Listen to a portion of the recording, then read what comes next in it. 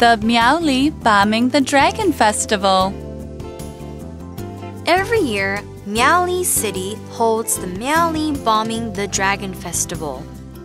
This interesting Hakka tradition takes place during the Lantern Festival. It has four exciting parts Dragon Eye Dotting Ceremony. People paint eyes on dragons. They believe this makes the dragons come to life. Once they're alive, gods come to live inside the dragons. Folk Parade Night Dragon teams make the dragons dance around the city. They bring blessings to everyone in the town. Bombing the Dragon Night.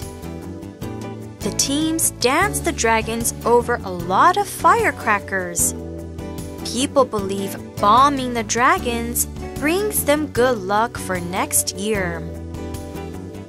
Dragon Incineration Ceremony. The teams thank their dragons and burn them on top of paper money for the gods.